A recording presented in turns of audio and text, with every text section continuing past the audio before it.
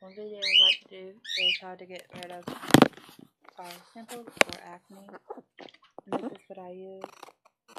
It's called witch hazel astringent for relief of minor skin irritation due to minor cuts and scrapes insect and insect bites. But it works well for pimples as well. Um, I have been using it recently, obviously, because I got one out there. But yeah, um, I used it for maybe two weeks, and all my acne was gone. And it makes your skin, um, really, I don't know, just evens your skin out. Like,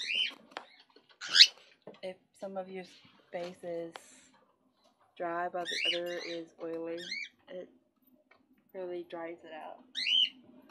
So, I'm coming, babe. You're not gonna sit in that toilet with that, are you? No. Coming in the them the vitamin E oil. This is really good for your skin. Hold on. Can y'all see that?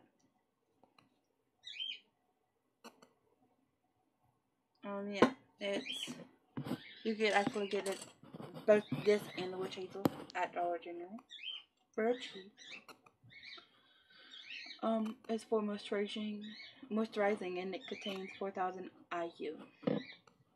So yeah, it's really good, and it works wonders. Um, so yeah, I hope I helped. See you later, bye.